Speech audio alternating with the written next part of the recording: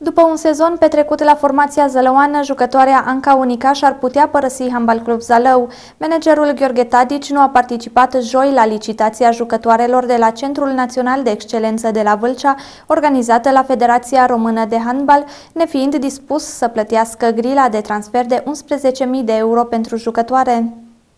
Transferat în vara anului trecut sub formă de împrumut de la Centrul Național de Excelență de la Vâlcea, hambalista Anca Onicaș ar putea să nu se mai regăsească în lotul formației HC Zalău în sezonul viitor.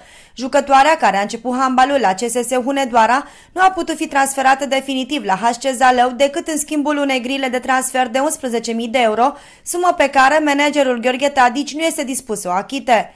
Nu merită să plătim acea grilă, fiindcă după un an sau doi, după ce o formez ca jucătoare, pleacă la altă echipă, a declarat Gheorghe Tadici, care nu a participat la licitație organizată joi la Federația Română de Handbal.